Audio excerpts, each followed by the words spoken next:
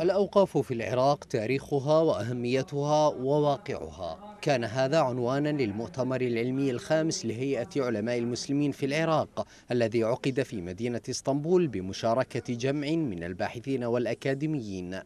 المؤتمر الذي يستمر على مدار يومين تناول أوقاف العراق وقيمتها الإسلامية ودورها في إثراء الحضارة العالمية وكذلك ما تتعرض له من عمليات سرقة وتخريب تستهدف هوية العراق.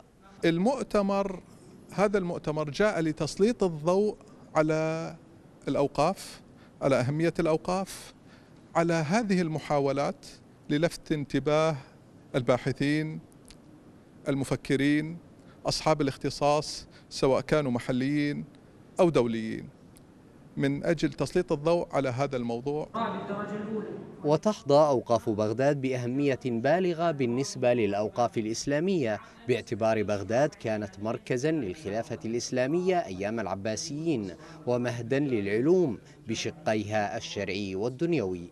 كان لأوقاف العراق بعد حضاري وتاريخي مشرف استفادت منه الإنسانية جمعاء تمثل ذلك في الوقف الثقافي العلمي بما احتوى عليه من مدارس تعليمية ومساجد ومكتبات كما تمثل ذلك في الوقف الاقتصادي والوقف الاجتماعي والوقف الصحي الذي يعود على الناس بالنفع والخير. ولا يقصر أحد فيما أمر به من أهمية المؤتمر تنبع من مزامنته لأحداث في غاية الخطورة تتمثل في محاولات محو الأوقاف في العراق وسرقتها والعبث بها.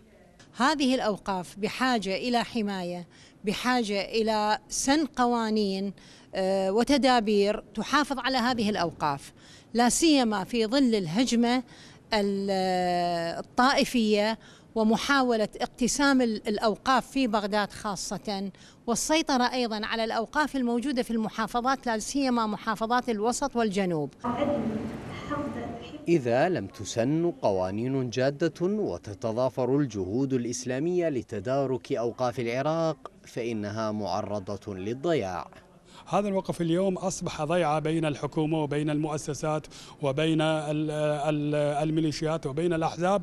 فمع الأسف اليوم آه، الوقف في العراق وخاصة الوقف السني آه، أصبح ضيعة بشكل كبير وليس هناك قانون يحميه. أعمال المؤتمر بالإضافة لاستعراضها تاريخ الأوقاف سلطت الضوء على مناقشة حلول عملية من شأنها أن تحمي أوقاف العراق التي تعد جزءا أساسيا من حركة الحضارة الإسلامية. وأيضا جاء في